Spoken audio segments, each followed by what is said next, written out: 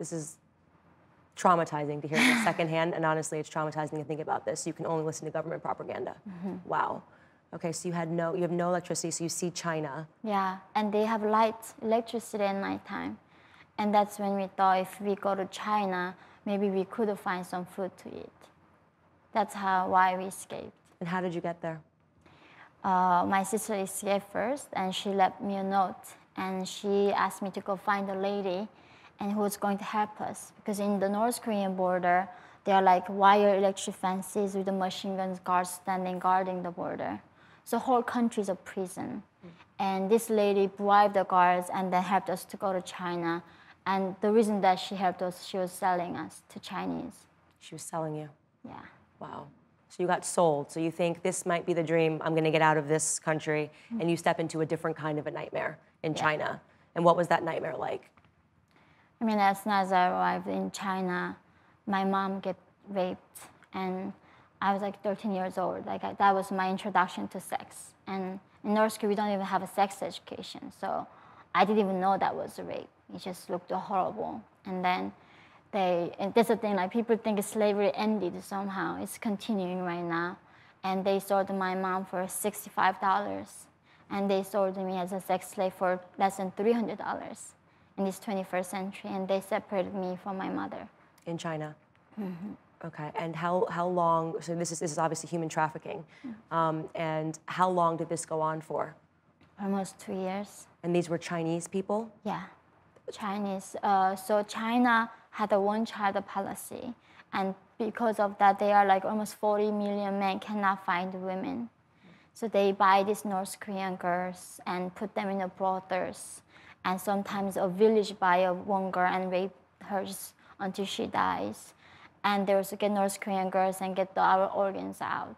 Wow. So right now there are North Korean, like 300 North Korean defectors, mostly girls, are being sold and raped in under CCP right now. Wow.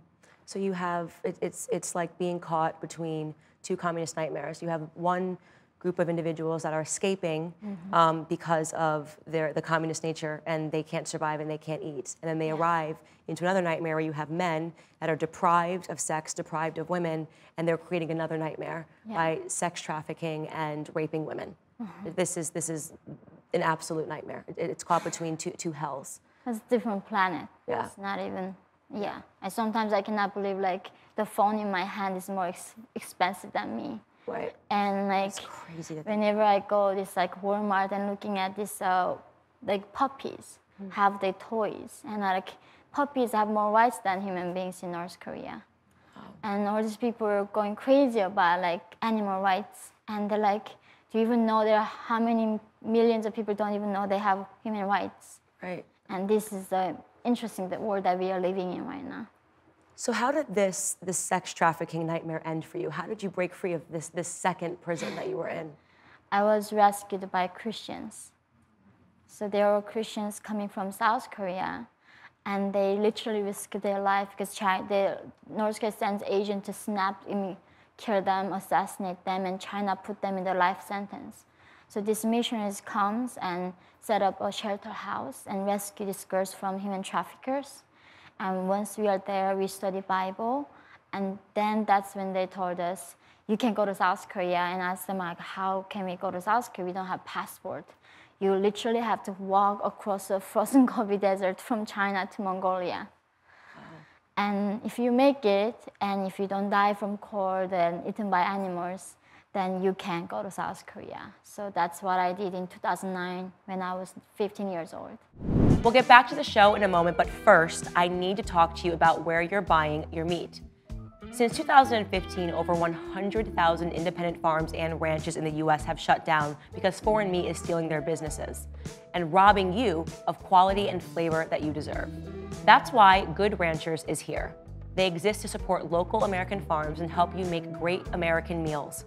Get the beef, chicken, and seafood that can't be imported at goodranchers.com/candace. Last week, Good Ranchers upgraded their website to handle the traffic that came from listeners of this show. Thank you guys for supporting Good Ranchers because they support us. If you had trouble ordering last week, GoodRanchers.com is back and better than ever with an extra special limited time offer. Go to goodranchers.com slash Candace right now and subscribe to get 10 free bistro fillets and save $25 on each box of mouth-watering American meats for life. That's goodranchers.com slash Candace. So this just makes me think, so we have all of these governments in the world talking about social justice, talking about Green New Deals, talking about environmental justice, um, talking about, you know, we, we, are, we need to be the liberal leaders in the world. Mm-hmm. And you are telling me the story about something very real that the governments could help and make an impact on. Yeah. Uh, they could um, send in troops, you know, try to stop this sex trafficking that's going on in China. Rather than that, they're doing deals with China. They're helping to enrich China. And the people that are saving you are not people from government organizations, which take trillions of dollars from individuals, um, but Christians yeah. who are persecuted by governments. Yeah and the pastor who rescued me and the missionaries who rescued me, some got killed and in the lifetime prison in China right now. So they risked their lives?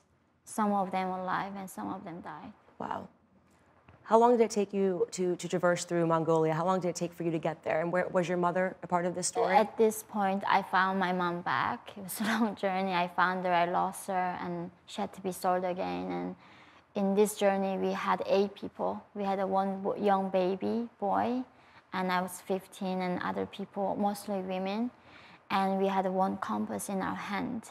And they literally say, go follow the north and west direction and cross like eight wire fences. So if you don't get electrified from wire fences and get shot, you make it, and we did it. So it took a one day of course, but it was like minus 40 degrees in February 2009. So the guards thought like nobody's crazy enough to cross desert right now in this freezing cold. So that helped us to not get discovered by the guards. Wow, wow.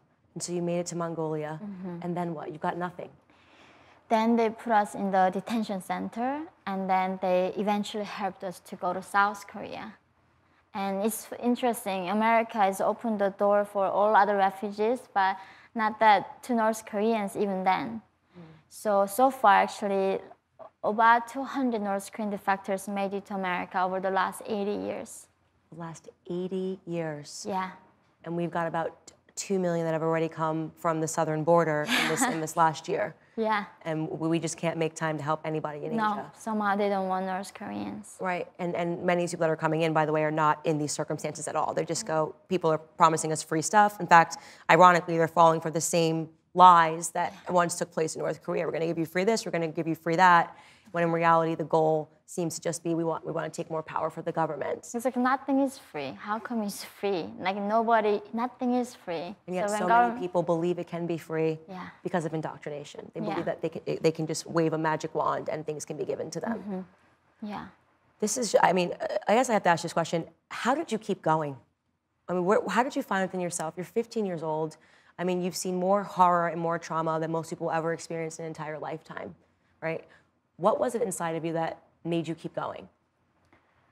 Uh, I think this is very interesting. Even though my father didn't have education, like in America, it's all about like, oh, if that's how you feel, like it's legitimate. I think like they're almost like like safe space, emotional feelings. But my father told me as a younger, it's like there's a toy, like the two round things. If you knock it over, it comes back.